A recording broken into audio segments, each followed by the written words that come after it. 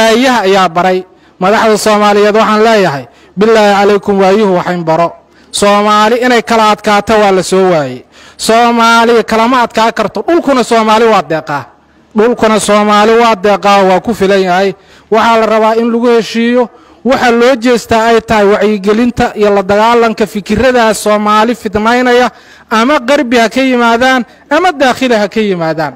Waxaa la rabaa maxabadii iyo isjacaylkii in lagu faafiyo waxaa dhacay hadda dhowr bilood ka hor ood ogsoon tihiin. Oo aan rabaa xafladda inaan ku soo qaado mashaaikhdii deegaankan ugu waaweyneed ugu da'weyneed ugu cilmi badneed ugu magac rooneed xarun ay joogaan oo inji loo yaqaana isweer laga qabto weeraraa lagu qabtay. Horta halkan intii joogto waxaas ka qayb qaadatay ha ka toobad keentaan leeya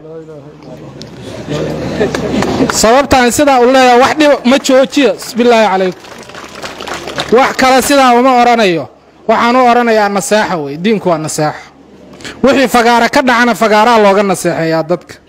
Qofku inuu ka soo laabto khaladka ceeb ma ahan. Waxaasi khalad bay ahaayeen. Waan leenahay haddaan dhimanayno oo qabriga qarkiisa aan taagannahay iyo haddaan maaragtay adduunyada meesha u sarraydo tagno haddaan maaragtay ilaahay wejigiisa tagnana waa ka sheegi doonnaa in culammada islaamka inta la soo weeraro la yidhaah ha la go'doomiyo. Gaadiidkii iyo hubkii shabaabka loo gatay lagu soo foorariyo waxaan leeyahay horumarkii casriga ahay noocaasou noqda. Horumarkii dadkanaga loo yaboohayay oo lalahay horumar horumar horumar horumaraa la keenayaa horumar ma ahan. Waxaan soo dhowaynayaa oo aan ku celinayaa oo aan ahlu sunna culimmadeeda anugu aan ka mid ahay iyo dowladdaba ugu baaqayaa inaan xal gobollada dhexe waxba dagaal aan waxba lagu qaban karin waa fikirkayga shakhsiga ah. Dagaal waxba kuma imaan karayaan.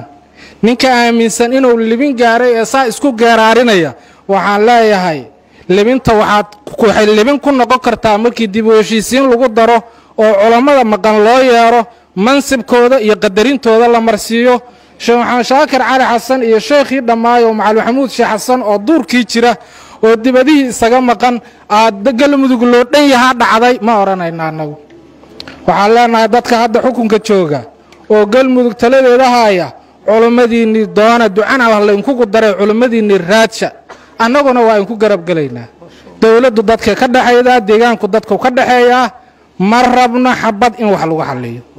Waxaan rabnaa nabad in wax lagu xalliyo sababta aan sidaa u leeyahay waxay tahay boqol qofaa qabaa'ilku iskala dilayaa markay kala diraana afar ninoo odayaala inta loo diraa waxaa la leeyahay war wixii dhintay ha laga xaajoodo kuwii dhintay dhintee bal inta nool ha la caymiyo. Dadka caqliga aan u sheegnay oo markaan isbitaalka dhulkiisa dhagax dhigaynay aniga sheekhii aan sheegnay laba boqol oo sano cudurro laga soo gudbay ayaa dadka soomaaliyeed u dhimanaya. Laba boqol oo sano ayaa nin helay cudurkaas sida loo daaweeyo. Welina dad soomaaliyeeda u dhimanaya. Bal adigu fiiri hal qof oo madaxda soomaaliyeeda markuu xanuunsado dalka iskuma aaminay tigidow jaranaya dibaddow aadaya. Lacagaha marka maa lagu bixiyo isbitaallo la geliyo isbitaallo la dhiso dhallinyarta soomaaliyeed shaqo loo abuuro dhallinyartii facebookaasi ku wada jiraan biibitooyinkay fadhiyaan iyagiiyaa kala qaybsamo isnacaya sababtu waa maxay fursad iyo jaanis bay heleen haddii laakiin shaqo loo abuuro mid walba biilkiisa meel uu ka raadsado uu helayo sababa walaalkii kale u naco ama ugu mashquulaahay ma jiri karto. Haddii qof walba ou haysto waxbarasho isku dibaridan oo lacag la'aana kama mashquuleen kii iskuulka ka soo baxay markuu helayo jaamacad oo u shaqo tago oo waxbarasho u aado oo lacag la'aana markuu helayo kii jaamacadda ka soo baxay shaqo uu helayo dowladdii waxaa laga rabaa ama maamulkii degmada ha ahaato ama isteedkii ha ahaato ama federaalkii ha ahaato meesha ay ku fakerayaan waxyaalaha kale waa inay ku fakeraan horumarinta bulshada. Markii sidaa aad samaydo ilaahna wuu kaa raali noqonayaa dadkaaduna way kuu soo ducaynayaan wixii la samaynayo waxaan dhiiri gelinayaa inay ikhlaas ahaadaan. Allah daraaddi subxaanahu wa tacaala. Ilaahay in lagu raaligeliyo sababtu waxay tahay agoonka markaad ka farxiso haddaad ilaah darti ula jeedo ajir baad ka helaysaa. Haddaadan allah darti ula jeedinna hantidiina waa ku dhaaftay. Addoonkan unbaa ilaahay ugu kaalmeeyey. Maxaa adiga kaaga siyaadaya aakhiro waxaa lagu leeyahay. Waxaad rabtay in lagu yidhaahdo bixi ogaa waana lagu yidhi. Mar labaad waxaan ku celinayaa.